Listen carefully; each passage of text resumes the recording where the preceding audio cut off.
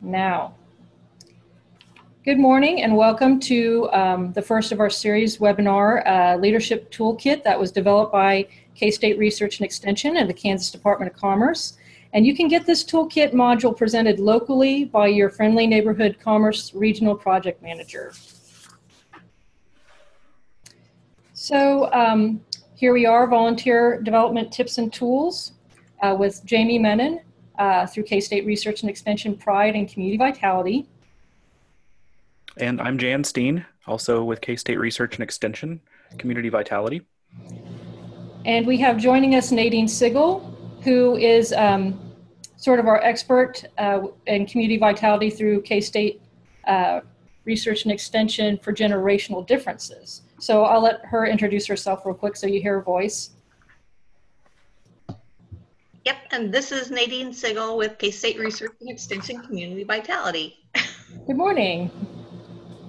So here is what we're going to expect today. We're going to do the first module, uh, abbreviated volunteer recruitment and retention, talk about some generational differences and how to connect.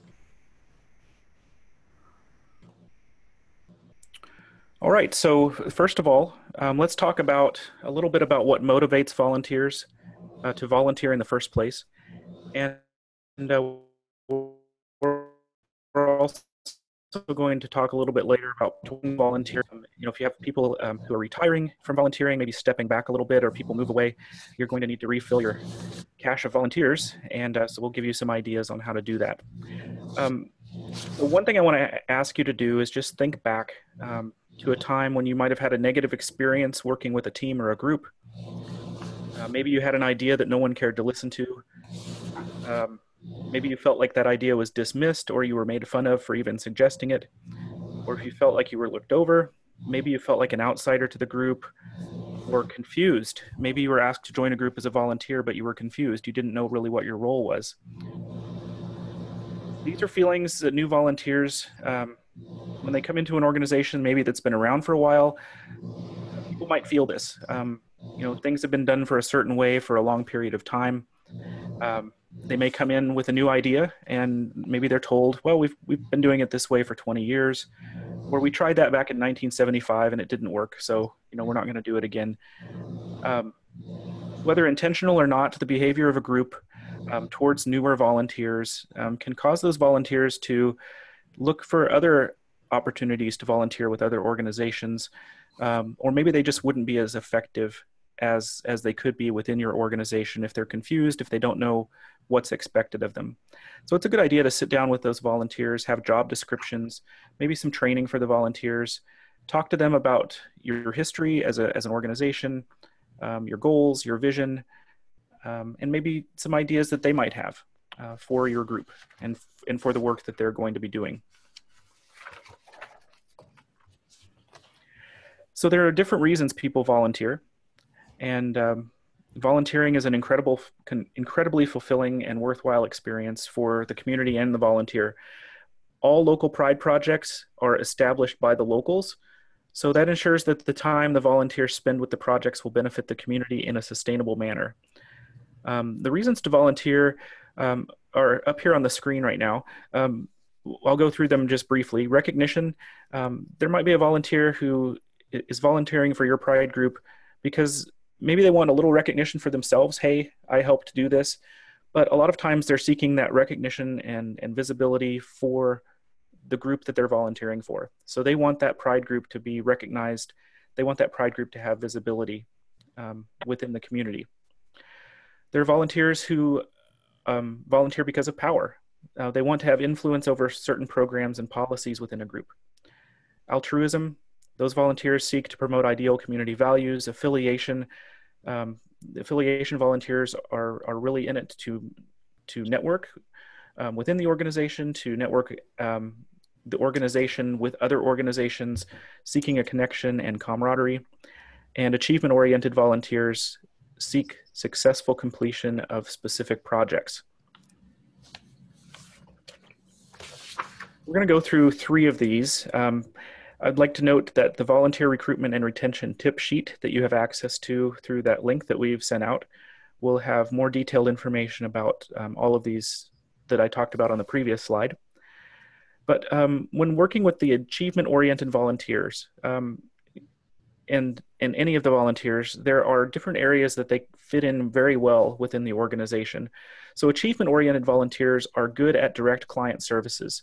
They're really the ones that you want to have face-to-face contact when you're looking for new volunteers and when you're looking for donations. They're great at public relations and fundraising, and these are the ones that you want to have help make those job descriptions for the volunteer positions. They're very helpful um, and adept at training new volunteers and assisting with support activities. Um, a couple of the support activities they're really good at are volunteer evaluations. Um, it's, it's very important that your volunteers have an opportunity to evaluate their performance and to see if they're, you know, if they're fitting well within the organization or the role that they're playing. Maybe they, they would be better trying something else within the organization. Maybe they would do a little bit better if they had some additional training, and that would give them an opportunity to um, suggest uh, some assistance there. Uh, also, project evaluations. If you put a fall festival on, or um, you know, you build a walking trail in your park, you want your volunteers' input on how well that project went. Uh, is there a way that it could be done better next time, or what was really good about that uh, evaluate uh, about that project? So you want your volunteers involved with with project evaluations, and the achievement-oriented volunteers are are great at making up those evaluations and helping to administer them. Power oriented volunteers are great at promoting funders. So if you have donors to your program, these, these are the people that are going to be out on the street corner with a megaphone telling everyone how great your donors are. They're, they're really good at planning fundraising events, training, visiting other organizations, not just to network, but to find ideas of, of ways that they're doing things and bring those back uh, to your pride group. Um, they're great at making policies and procedures for financial activities within the organization. Um, these are the people that will make up your surveys, your community surveys to find out um, what the needs of your community are and also to gather information for upcoming events. All volunteers need to be made to feel like the work that they do, which is often professional tasks, um, is appreciated and important to the organization. But the power oriented volunteers are especially sensitive to that. They, they're looking for that recognition. So make sure that uh, whenever you complete a project, um, whenever you look back on the year of projects that you've done, that, that you have that recognition for your volunteers. And finally, on this slide, uh, affiliated oriented volunteers are really great advocates. These are the ones with the elevator speech that go out and tell the rest of the world how great your organization is. They're good at forming policies for the whole organization. They're really good at fundraising and recognition as well, and organizing political debates as a community service. Um, oftentimes, pride groups will uh, invite candidates into a town hall meeting so that they could have um, time to talk about their position on issues so they can answer questions from the population. Um, one note here, though, um, we stress highly that um, the Pride Group does not take a political side, that you do not endorse a political party or a certain political position, uh, that you remain as neutral as possible because you have the you have the chance of alienating half of your donors, half of your volunteers, half of your program participants um, who come to your events. And when it comes time to get that city council resolution, so you can remain a pride group, if you endorse the opposite party of, of the, the ones that's in power at the moment, um, you might have some difficulty um, remaining a group if they don't like some of the positions you're taking. So um, make sure that you remain neutral at all costs. So um, we endorse using the ISOTURE model, um, the process of identifying opportunities and job descriptions, uh, selecting qualified volunteers, orientation of those volunteers um, to show what the expectations are, training, which is passing on knowledge, attitude, and skills, utilizing appropriate matches um, to the jobs uh, that are needed um, and the volunteers that you have, recognition of volunteers, and evaluating the performance of those volunteers in the organization. A little more description is on the tip sheet provided. So um, that's where the handouts that are associated with this part of the PowerPoint are important because um, you might ask yourself, how do you identify these, the types of um, volunteers that were listed earlier? Well, that would be that volunteer interest survey. Um, when you get a volunteer, give them the survey and see where their interests lie. Um, then if you have um, people who are in the organization already, you might have a self evaluation for them uh, because sometimes there's um, confusion. Uh, having a plan of work or job description is important. Um, it allows people to know where they fit and what's expected. It's also good um, when rarely you have a difficult a volunteer situation. Sometimes it's just a clarification issue, but also it's an opportunity um, for you to reevaluate uh, the person in the role if that's the appropriate role for them. Um, succession management and ways to recognize um, your volunteers. And so I'll put a little plug in for our Rising Star Award through the Kansas Pride Program. It's a guaranteed plaque every year, uh, one per community to recognize a person, uh, en- an entity, business that might, youth uh, that might be um, doing exemplary work for your organization. So um, in closing this part, um, one way to um, find if you can uh, reach more people is to ask. A lot of people, when they do exit surveys, um, they or are asked, "Well, why don't you? Why didn't you volunteer for this?" Well, I was never asked if I would like to volunteer. Uh, sometimes people leave organizations because of confusion. They don't know what their roles are, um, and it, it just kind of gives them um, too much stress or they don't want to uh, be a part of the organization if that clarity is not there.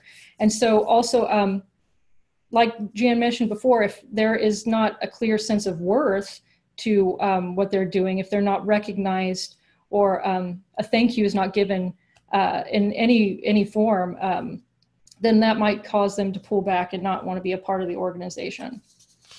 So we're going to switch gears a little bit, and this is the second part, uh, generational uh, differences. So, um, the changing face of volunteerism. Everyone is panicked because no one's coming to the meetings. So, um, according to the July August 2017 Harvard Business Review, 50 years ago, people spent about 10 hours a week in meetings. Today, people spend on average 23 hours a week, and this does not include phone follow ups and emails. They feel like meeting is a necessary evil to get through the work week. 65% of respondents find that meetings hinder work. 71% find that meetings are unproductive or inefficient. That's how they view it. And 62% feel that meeting prevents team building. So, what does this mean? When people volunteer, they want to feel good and not like it's more work. So, that might be an opportunity uh, to explore if you don't have people coming to the meetings. So, how can this be remedied? Surveys can help you find where the interests lay and who might be interested in doing what projects. You might have your meeting goers and you also have your doers. So, um, social media, uh, putting out emails, texts, newsletters, information on how to get involved, when, where, how. Um, sensitivity and flexibility to schedules, if you hear from them. Um, also, considerations like transportation or childcare do those things need to be provided to allow them to be participating in the conversation? Uh, can a sense of community bring them together, uh, like a community potluck, bring people out of the, the uh, woodwork to um, come together to be a part of your goal and success? So, how do we learn? How we taught? And how learning was facilitated? Let's think about the way we've learned and classroom settings. So uh, many of us grew up, say, in a classroom where they faced the front and the teacher had all the, the answers. So how was learning facilitated? Through books and what they were told, an authority figure. So at this time in um, this learning style and generation, uh, reel-to-reel and television was just starting to be introduced into the classroom.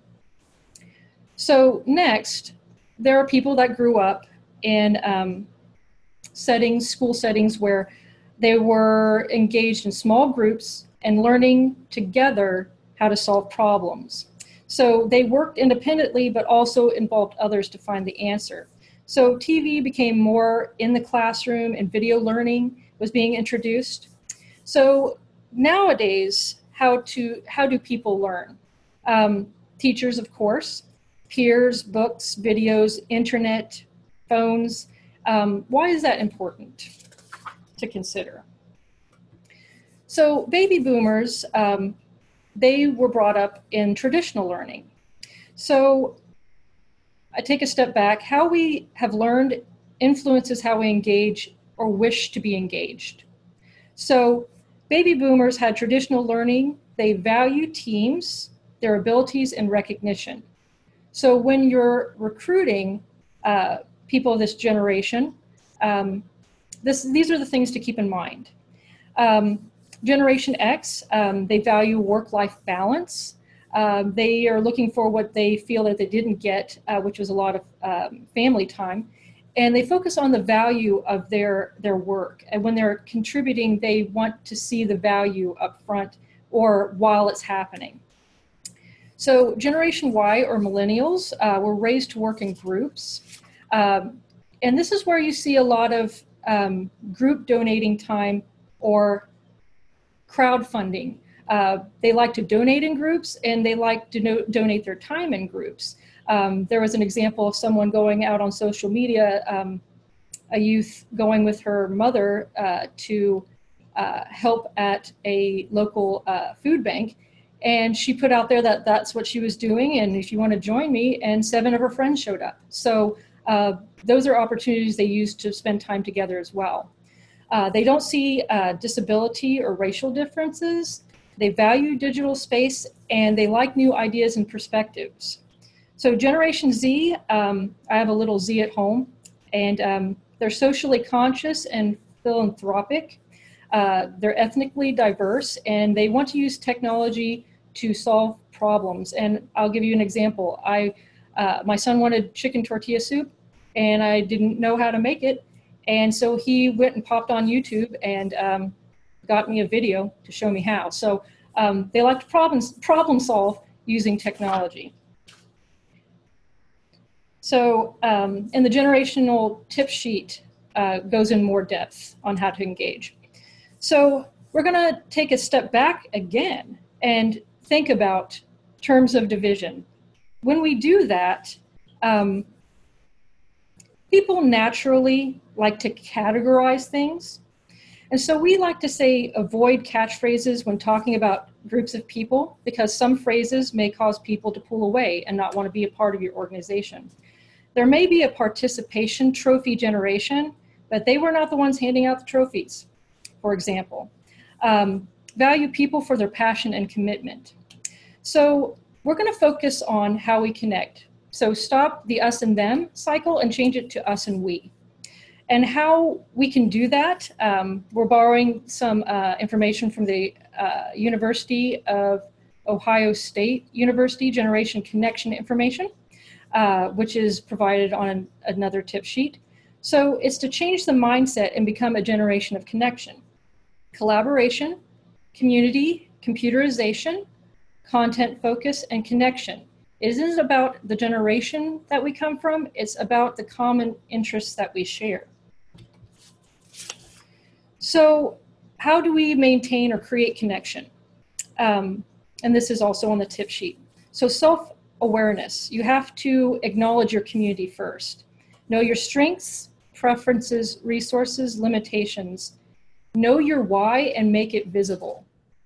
Self regulation. So, controlling and channeling events, moods, impulses. Uh, is there something to celebrate? Putting something like that together. Is there a reactionary instance? Is there an urgent need? Facilitating around that and being able to control those situations the best you can. So, motivation, uh, make it clear that you're driving beyond expectations. Um, practicing empathy and social awareness, being aware of feelings, needs, and concerns of others. Ask yourself or ask others um, how you can help. And social skills, being able to manage relationships with others and induce desirable responses. So ask yourself, what am I trying to accomplish? Who can help me? How can I contribute to them and deepen our relationships? So that is called working out loud, bringing people together and combine conventional wisdom about relationships with technology to reach and engage people a different approach to networking, starting with those three questions. So instead of working to get something, lead with generosity and invest in relationships that give you access to other people, knowledge, and possibilities, allowing others to contribute. So, thinking facilitative leadership, use your collective ability to adapt, solve your problems, and improve your performance. Know that change is real, but it doesn't have to separate you from your community goals. Don't view generational differences as negative. Just dig in and find how your work together can make a difference. And so, creating a common language or discover it in your community to cr- cross perceived boundaries. And so, I'm giving the example of making a difference. In K State Research and Extension, we've adopted making a difference, and we have what's called making a difference report. So, um, when we're filling out the report, of course, it's a report and it's not something that you're wanting to do at the moment, but you can't help but smile because you're making a difference and you're putting that in, and it kind of motivates you. So, um, the more we use common terms, the closer we feel to one another. So, think of how you feel when you hear the name of your local festival. It means different things to different people depending on the roles, whether you're you're making it happen or you're participating but we all know the importance of it and how it makes us feel when we're seeing each other enjoying it. Okay, so we're going to talk a little bit about ideas on how you can find volunteers. You know, so oftentimes in in pride groups and other organizations, it's the same five or ten people that are doing everything all the time. So you want to get those new volunteers in there um, that you know appreciate what you're doing and and want to be a part of what you're doing and maybe they just don't know it yet. So um, first thing is the first impressions program. Um, that is a free program from k-state research and extension. If your community has not already participated in that i would highly recommend it. Um, this is a secret shopper type of program where four to six people from one community uh, come to visit your community they look at um, things like the downtown area um, the streets, the schools, the housing, the amenities in town. Um, are there any events going on um, that are visible uh, in the future? They also look at the online presence of the community to see if, if it's easy to find information. Um, if you're a new resident, uh, if you're somebody who lives there, uh, is it easy to get in contact with the city and find information about the businesses there? And those volunteers write a report. We compile those reports together and we come and give a town hall meeting to your community. And while they're visiting your community, um, sometime in that time frame, you also go and visit their community and provide the same service to them. The nice thing about the town hall meeting, when when the community comes together to hear about what was found in the first impressions visit, what needs your community might have, what good things are happening in your community, is the people who attend this meeting are people who care about your community. If they didn't care about it, they wouldn't show up in the first place. So they're there, they're in the audience, and this is a great opportunity as a pride group at the beginning or the end to stand up and say, We're formed, we exist to help address community needs. If you would like to help address any of these issues that are that are um, shown in the report, come see us at the back of the room, and uh, we'll tell you how to get involved. So that's a great way to engage potential volunteers that way. Um, another way is to partner with your local 4-H club. Uh, 48 hours of 4-H or other events uh, where 4-Hers are doing community work. Um, 4-Hers really do care about their communities and are often involved in leadership projects.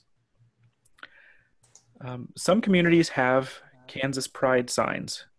Some do not. Um, some of the Pride signs over the years have faded. So if you have a faded sign or if you're thinking of putting up um, signs, um, the faded signs can be replaced with the new signs if you don't have a sign already. Um, you might consider putting one up.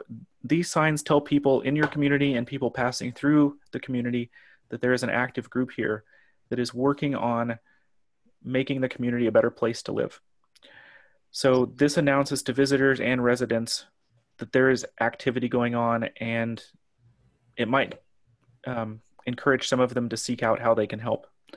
If you want to place a sign on the right of way, we advise you contact your local Kansas Department of Transportation office just so it's placed in the right place. If you want to put it somewhere else um, in the community that's not in the right of way, you can place it anywhere you like. Okay. So engaging the one and done volunteers. Um, I'll just give you an example of my life. I have three kids. Um, the three kids are involved in all kinds of activities. Um, sometimes I work in the evenings, sometimes I work on weekends. It's difficult for me to say I can commit to a meeting every month. And in included with that meeting every month, I can also help with an event on a regular basis. I just can't all of the time. So I might be more of a one and done volunteer. If if you know that somebody has a certain skill, if they have a certain talent, if maybe they have a piece of equipment um, that would help you get a, a certain project done, ask them if they would be willing to help for that one event. Um, and if they appreciate what you do in the community, um, they're more likely to say yes to the one event if they do not have to commit for the entire year of activities. So, uh, and oftentimes, if if they still can't, if they appreciate what you do in the community, they may say, you know what, I, I can't volunteer, but you know, here's twenty five dollars or fifty dollars, and and they become a donor. So at least you get a little something out of it, and the community benefits either way. Um, another option is to get in touch with your local Masonic Lodge. Um, the Kansas Masons are partners with the Kansas Pride Program, and on the local level in communities with lodges, or even if there's a community without a lodge, we can get you in touch with the nearest lodge. Um, that's a resource there for you. Um, Masons can be volunteers. They have skills, they have knowledge. Um, some Masonic lodges even have access to local uh, small matching grants that, that might be able to help you with, with certain projects locally. So engage those Masonic lodges. We have some Masonic lodges um, in the state that even provide the meals before certain events. Um, they'll, they appreciate what the Pride group does and they will serve a breakfast or a lunch to that, that Pride group, group of volunteers before they go out and, and do that project that they're doing for the community's benefit. Uh, another way you can get volunteers is you can engage current volunteers and potential volunteers through Facebook. Uh, if your Pride group has a Facebook page or a Facebook group, um, that's great. But you can also boost posts for five to ten dollars, a Facebook ad talking about your upcoming project or your upcoming meeting date um, can reach thousands of people. Um, you could talk about your local Pride group's accomplishments, the need for volunteers, and how to get in contact with you um, if somebody is interested in volunteering and when the next meeting is and where it's going to be held. Flyers and questionnaires at events. If you have a fall festival, if you have a movie night in the park, um, any type of event where people are going to attend, if you make a flyer uh, about the event, it could have a survey on the back. And you can invite people to fill out that survey and drop it off later uh, somewhere else during the event. Um, ask people were you aware of the Pride Group before you came to this event? Were you aware that the Pride Group was putting on this event? What could be better about your community? Would you be willing to volunteer or assist with events like this? Would you like to be a committee member? Um, make the flyers and handouts more personal with contact information and a name of a real person within the Pride group that they, they can get in touch with either by email or by phone to ask questions. And uh, you know, make sure that you let them know that there's no obligation um, on that flyer if they do give you your information, their information. Have some of your meetings in different locations. Um, oftentimes, a pride group will meet in one specific location. Um, sometimes that's behind closed doors, and and people don't get to see you. So if you meet instead, maybe once or twice a year at a local restaurant, maybe in the park, city hall, at the library, somewhere where people can see you, uh, somewhere where there's more visibility than your normal location, this may draw attention to your group, especially if you're wearing similar clothing, like if your pride group has t-shirts or baseball caps, uh, people can associate you by those, those pieces of clothing. Press releases all the time. Um, before you do work on a project, before project begins, when the project is complete, when there's a celebration, an award, when a grant is won, um, send these press, press releases to radio, television, newspaper, send pictures, talk about how many people helped or attended, how the project is going to benefit the community. Not all press releases are going to be published, but some of them will. And the more you send, the more your name is going to be in front of the media on a regular basis.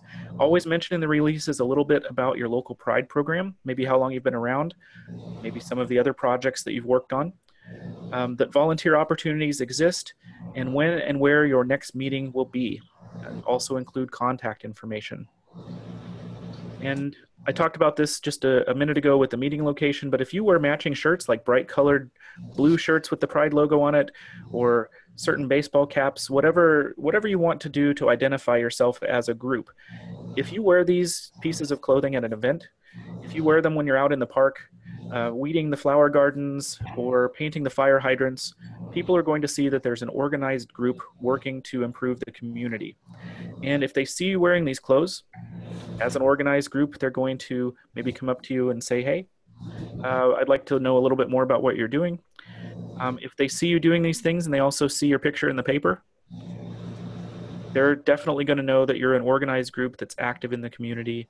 And if you're doing things that they value, there's a great opportunity for them to come up and try to seek you out and find out ways that they can help. Okay, so that is it from our end on the slideshow. But we want to open this up for questions and answers, and you can feel free to type any of those into the chat box. We have our first question. Do we have to get an okay to use a Pride logo on shirts? Um, I'll I'll field that, and Jan, you can add. Um, well, um, the only real okay I would say that you uh, would need is um, we have uh, we will personalize a logo for your community, uh, just so that way it has a similar look and feel for branding. Uh, but once you get it, you can use it for anything. I mean, you can put it on a T-shirt, you can put it on a. We've seen banners and flags and uh, cups and uh, magnets, uh, napkins, plates, everything. And so that's what it's there for, is for you to use. Um, but I mean, there are communities that have their own individualized logo because they partner with other entities. And um, I mean, we would like to be aware of it, but um, it's what you need to do uh, to get your name out there. Yeah, and we have those in formats that printers ask for. Uh, EPS, we even have the original um, should have the original uh, Adobe Illustrator files. So if you have any need for those logos, um, just let us know. Um, I just did one the other day for Arlington um, Community Pride, and uh, a lot of communities just say like Arlington Pride, but they wanted to have community in their name. So I added that extra line and, and made that for them, and uh, we would just email those out. It's got the K with the star swoosh on it, and then your name uh, underneath it. And um, I'll also say that um, we don't pride groups don't have to have pride in their name um, that's fine if you're already a community organization you've enrolled as a pride group that's that's perfectly okay we have um, for example iola is a community improvement task force um, but they also have pride in their name but they already had an um, organization that they wanted to be their pride group and they wanted that as their name and that's fine we have another community grow nortonville um, that's what they want their name to be. It doesn't have to have pride in it. So, um, so it, it, it, allows for flexibility and your, if you wanted to come in as an organization that's already existing, or if you want to have your own name entering.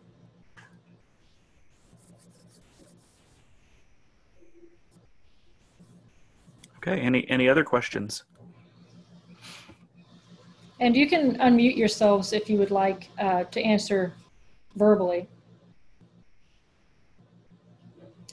When do volunteer group sizes get big enough to split into subgroups? I can take a, a swing at that one uh, because I have a particular group in mind that did that. We had a group that decided after 30 years they didn't want to have the the structure that they had always had, which was a board and a chairperson. They still had that existing structure, but they decided to have a shared leadership role. And that board was about 20 people, uh, and they split into subgroups of three to four people. And what happened then was it allowed people who weren't members to be volunteers for the groups as well. Um, because before it seemed like it was specific membership and only those 20 people could handle things. When they got to open up into subgroups, those subgroups started reaching out to other people and involving them with their tasks and um, bringing other people's skills in. So um, I've seen if you have that large of a group, um, I would suggest not breaking into subgroups of one person. um, I say that because that one person would be tasked with with all of that if they can't get other people to come around it. Um, I would suggest at the least two, and I've seen groups of four and five work really well together. Uh, Jan? No, I, I agree with that. And um, last night I was at a, a Pride group organizational meeting, and they were actually setting up committees instead of, of leadership. Um, we had 50 people there, and uh, they're they're setting up their committees as leadership committees. So they might have uh, three or four people on the administrative group instead of having a chairperson or a president. That way, if if somebody has to move, if somebody gets sick, the other people in the group are able to take on that task with with the committees. And, and they have a communications group for the secretary and for people writing press releases and writing for grants that work with the finance group. So, um, you know, the, that committee structure is, is pretty useful in, in cases where, where the group is large.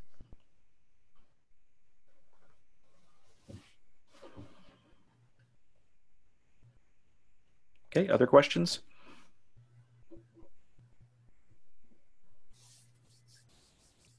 And as always, we're, we're available by email at pride at ksu.edu if you think of anything after this that you would like to ask us. And if there are any questions right away, I'll open it up to Nadine just in case there's anything we didn't cover on generational differences that she might want to expand on. Well, I think you did a good job on covering things. Um, just one comment that I would make is that a lot of times when we start talking about generational differences, we get into that habit of putting a label on a certain subgroup or a group of people, and we call call everybody baby boomers, Generation X, millennials, or whatever. Um, what I would caution you as you're trying to recruit volunteers is not saying that oh we want to recruit more millennials, but refer to it more as a group of we're trying to recruit more young adults um, because it seems like we kind of have gotten to the point where we're almost i don't want to say placing blame but they kind of feel like we're blaming them for all the issues that are going on with our communities because um, they aren't getting involved and that doesn't help us to recruit them if we give them a quote name and then try to place blame on them so yeah, that that's really good. Um, good point, Nadine. Um, one thing we have is we have an we have a Pride program overview uh, introduction pr presentation, and we do talk about youth volunteers uh, in that uh, briefly. And extension research across the country has shown that if you uh, if you engage youth volunteers, if they are involved in their community, if they think that their voice is heard,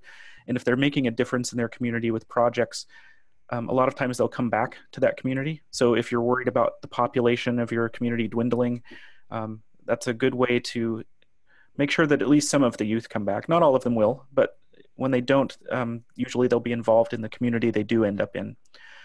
Um, also, if young people are involved in community projects, it tends to cut down on vandalism because they don't want to tear up things that they've worked very hard on and their friends don't want to tear up things that their friends worked hard on.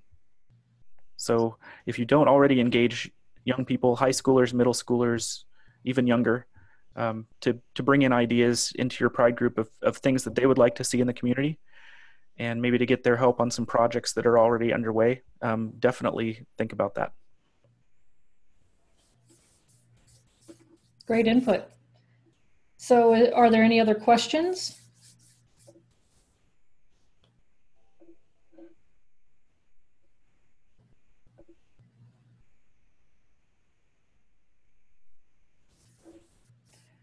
Well, if not, um, thank you everyone for attending. Uh, thank you for the great, great questions. Um, okay, I, we do have some questions. Um, okay, what is the most common Pride project that is done across the state? Um, in my experience, it would have to be beautification projects, um, something that um, revitalizes or, or changes a space. it doesn't have to be the entire downtown, um, it could be a park space, trail space. It's usually a beautification um, focus. And that's usually where a lot of them start when they do start. And that's why first impressions kind of brings that out. It'll, it, it, when that happens, um, people sometimes see the things that they've become complacent about, and that is a focus of what they want to begin turning around. And so uh, that's where I see a lot of it. Yeah, I think you're right on that with with the physical improvements. Um, there are also events. Events are really popular. So pride groups will do fall festivals, Fourth of July celebrations, parades, Easter egg hunts, Christmas tree lighting ceremonies. Um, you know, all kinds of things to celebrate uh, spring, fall, whatever holiday happens to be coming up, and that brings people into the community and it brings the community together for something fun to do.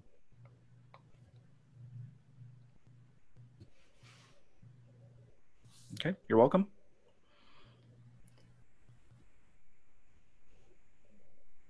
All right, it looks like um, we don't have any more questions. Um, thank you all very much for participating and for um, your questions. It helps others. So um, we will be having another, um, keep, keep in the loop with the newsletter if you want more opportunities. Um, we have webinars every month through December, and we will be doing more next year, um, focusing on some of this on the toolkit and then other opportunities that arise that are um, community issues or um, communities have identified as a focus they want to learn more about. Yep. Thank you, everyone. Thanks.